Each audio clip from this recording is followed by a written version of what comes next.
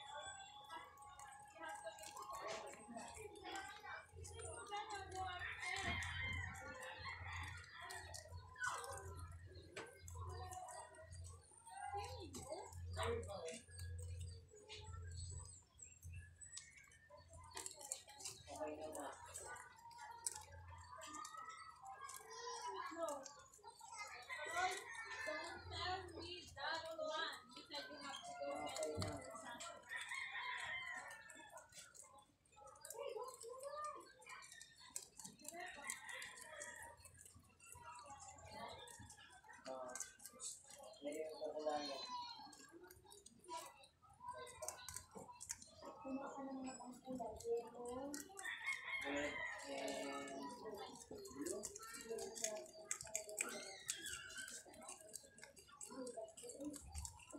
Thank